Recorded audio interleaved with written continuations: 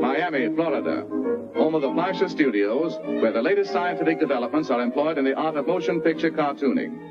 Leading experts are gathered in production conference on the famous cartoon Popeye the Sailor Man.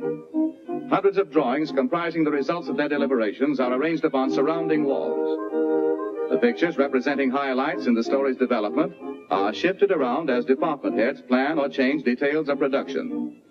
Known as idea or key drawings, they are given to a group of artists called animators. The animators further develop the idea by making additional sketches, each one of which bears a slight change in picture alignment and figure contour in order to depict a degree of progressed action. As there are hundreds of pictures to be animated, the routine drawings in between the key pictures are filled in by other artists who are called in-betweeners. If you've ever flipped the pages of a pad of pictures drawn in sequence, you have no doubt observed how the action creates the illusion of motion. From the in-betweeners, the pencil drawings pass on to the cartoon inkers. The inkers trace the sketches on squares of celluloid. For short, they are called cels. They provide the characters with an invisible support and facilitate their arrangement with other figures as well as backgrounds. The ink drawings are then filled in with color. At the stockroom counter, painters or fillers in replenish their ever-dwindling color supplies. Great care must be exercised by the paint mixers. As a large group of painters are currently working with the same colors, the shades that all are using must match perfectly.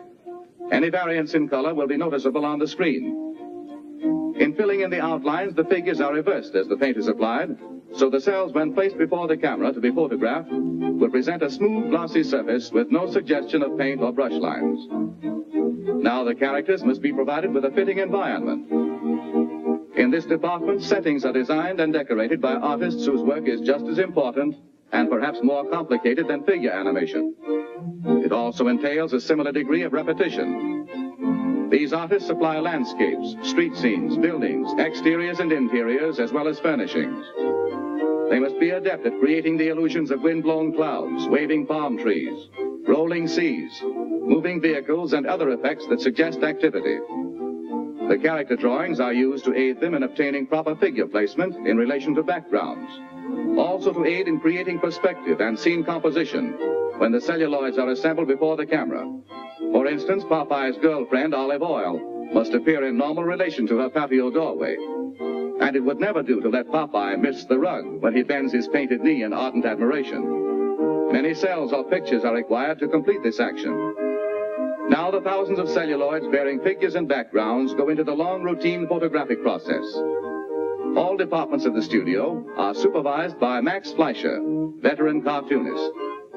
In bringing the spinach-inspired seagoing strongman to the screen, he is known as Popeye's Filmland Papa. One at a time, each drawing is placed in a holder, and a single exposure is made on film.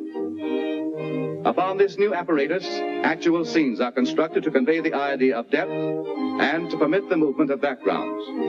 For instance, many drawings of this bird must be photographed, each one with the wings and other lines of body contour in slightly changed positions. Also, with each exposure, the background is moved to create the illusion of flight. The process must be repeated many times with all characters and accessories that simulate motion when it is realized that hundreds of sheets of celluloid, each bearing characters, properties, or scenic effects, must be superimposed one over the other so that figures will pass and repass each other in photographic action, thousands of exposures become necessary to complete the entire motion picture. The production of film cartoons is long on routine and heavy with detail, and requires considerable special equipment. The groups of pictures for each exposure are held in place by chromium register pins, and the holder is adjusted to the camera by heavy iron arms that lock in mesh. Beginning with one sustained picture, note how this series of pictures flashed on the screen up to the rate of 24 per second speeds the action. The eye retains the image of one until another appears, creating the illusion of motion pictures. Finally, the picture goes into the cutting room, where the film is cut into scenes and edited. Voices are then recorded on the film, and department heads put Popeye through a preview.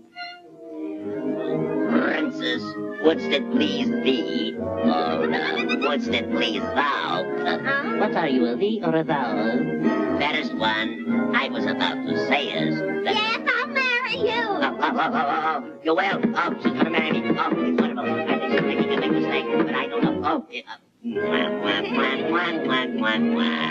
I go to bring me friends to the wedding, but I shall return. Oh, don't forget to come back. Heidi ho, Silver. Away.